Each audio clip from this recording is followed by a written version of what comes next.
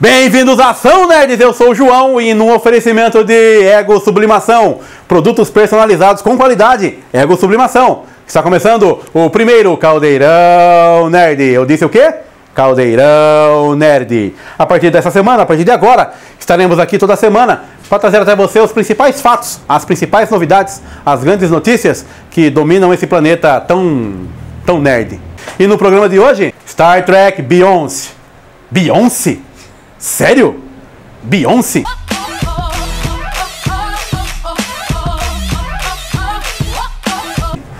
Star Trek Beyoncé, onde a tripulação da Enterprise tem que se reunir para dançar Single Ladies.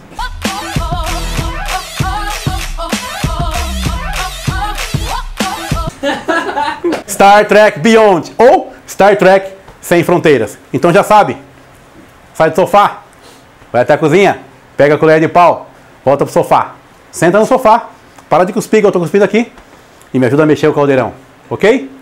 Solta a vinheta amarelo!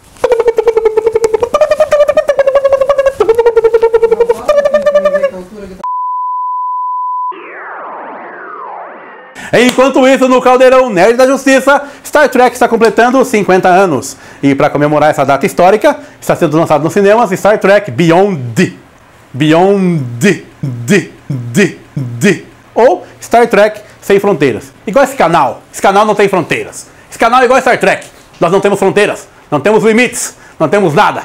Ok? Enfim, eu sei que você vai falar assim, ai nossa, que filme velho, já estreou, não sei o que. Eu sei. Mas, tipo, sabe? Sabe como é que é, né? Então por que você quer falar desse filme? Porque eu quero.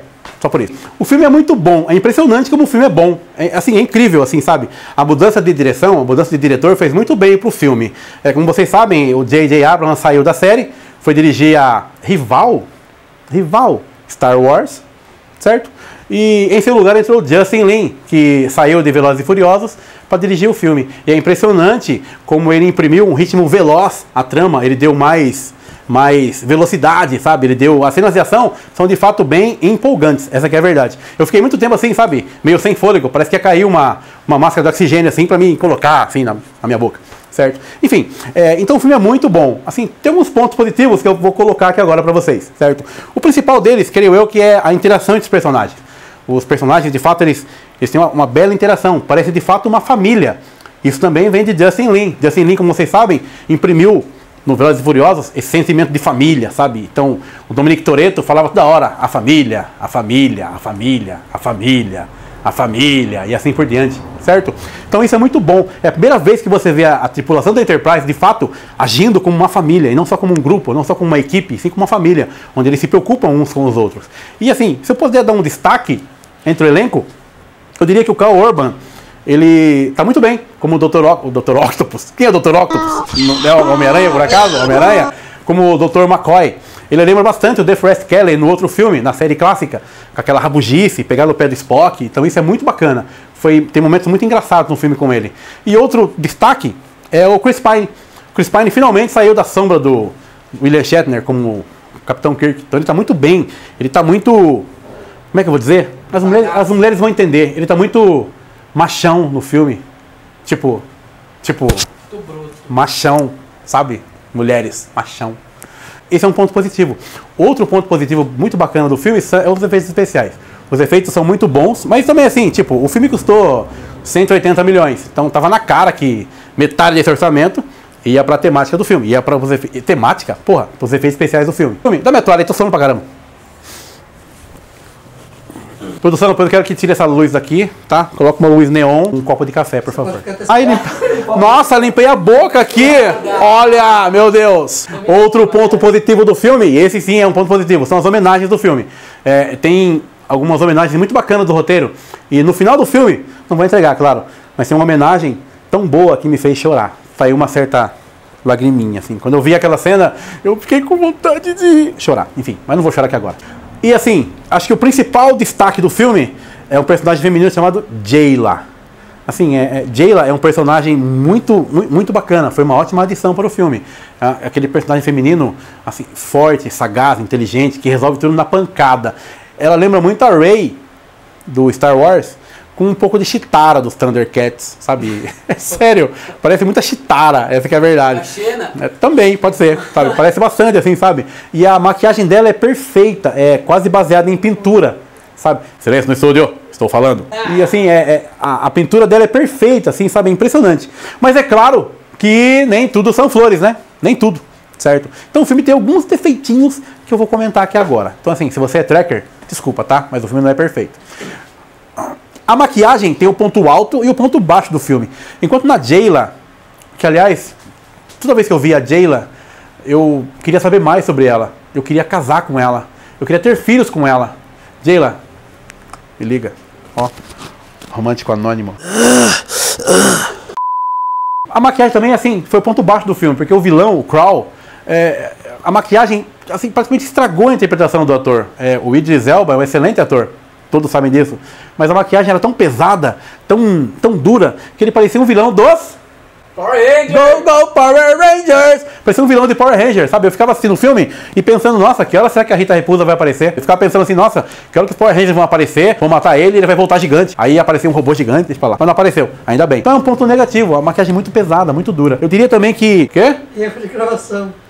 Ah, tá, esqueci, é verdade, esqueci disso. Um dos problemas também do filme são alguns erros de continuidade. Então, assim, alguns erros de edição que seriam fáceis de corrigir. Então, por exemplo, é, acontece uma, um acidente lá, whatever, certo? Não importa. E aí a Enterprise cai num planeta lá, e antes da Enterprise cair, a tripulação entra numa, numa cápsula de salvamento, e eles estão com uma roupa amarelinha, toda, toda limpinha tal. Quando eles caem no planeta que eles saem da cápsula, a roupa é outra. Estão com terninho já, com outro tipo de roupa. Mas não tinha o brilho da obra original, ok, jovem? O roteiro era um pouco genérico também, sabe? Embora o filme seja bom, o roteiro a gente já viu Sabe, o vilão que era um aparelho para destruir o mundo, esse tipo de coisa. Então, assim, é, é meio genérico, sabe? Mas ao mesmo tempo, é, não destrói a obra. É um filme muito engraçado, eu me diverti muito com o filme.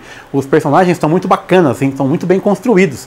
E é um filme, tipo, que não é. assim, embora o roteiro seja, seja genérico, o filme não é genérico. É, é interessante isso, né?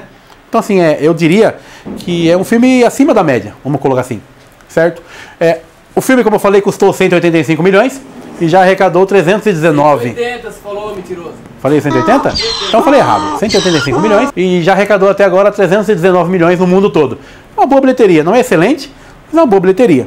Certo? No entanto, aqui em Sorocaba aconteceu um fato estranho. Porque assim, a sessão que eu fui estava vazia. Eu fui com os amigos, estava vazia a sessão.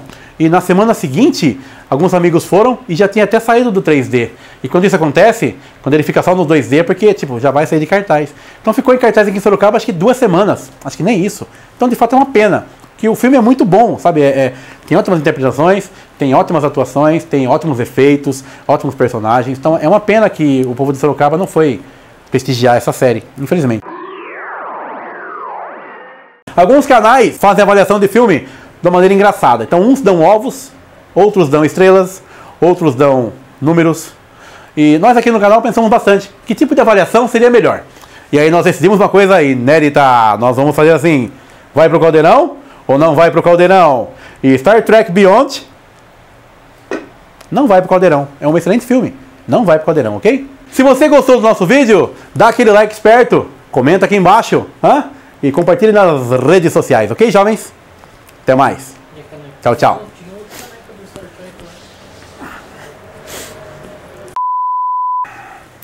Muito bem, esse foi mais um vídeo, o primeiro vídeo patrocinado pela Ego Sublimação. Mas o que é Ego Sublimação? É uma empresa de personalização de produtos. Então nós temos aqui, ó, chinelos muito bonitos, ok? Estão vendo aqui? Vários chinelos com várias estampas diferentes, várias cores também. Temos aqui canecas personalizadas com o produto, com o personagem que você gosta.